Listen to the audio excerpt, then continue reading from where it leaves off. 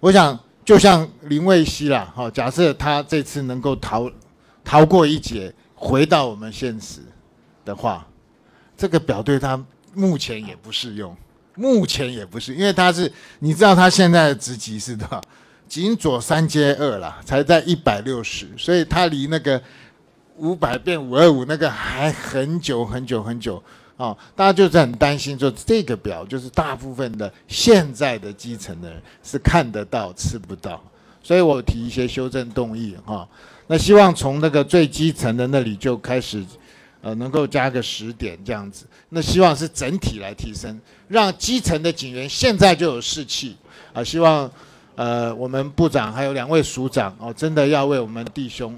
啊来多增口，这个这个对中华民国的财政来讲没有那么大的负担啊，但是对整个我们社会安全体系来讲太重要太重要了。